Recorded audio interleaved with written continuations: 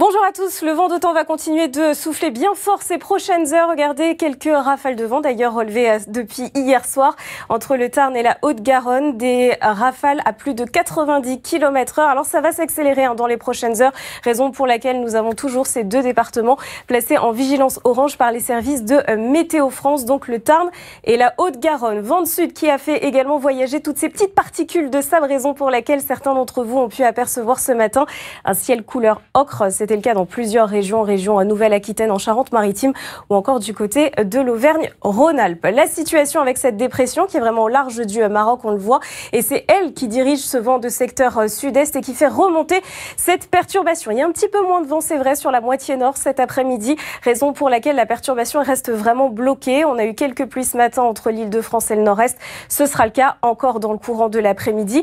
Partout ailleurs, on va retrouver de belles éclaircies avec le vent d'autant, je vous le disais, qui soufflera encore très fort entre Toulouse, Castres et Albi avec des rafales à plus de 110 km/h. Les températures pour cet après-midi, une belle douceur quasiment partout avec 13 degrés à Lille, 14 à Paris et jusqu'à 24 degrés à Biarritz. Mais c'est vrai que la température pourrait ne pas monter aussi haut dû justement à la présence des particules de sable qui pourraient limiter la hausse du thermomètre. Demain matin, on retrouvera dans l'ensemble une belle luminosité malgré quelques passages nuageux sur l'ouest du pays. Le vent d'automne, et c'est la bonne nouvelle, va vraiment faiblir dans son et puis on a cette perturbation qui arrivera à la mi-journée par la pointe bretonne avec un ciel bien couvert, quelques précipitations, ça restera très faible, quelques entrées maritimes ici sur les côtes aquitaines, toujours un petit peu de vent d'autant entre 70 et 90 km heure.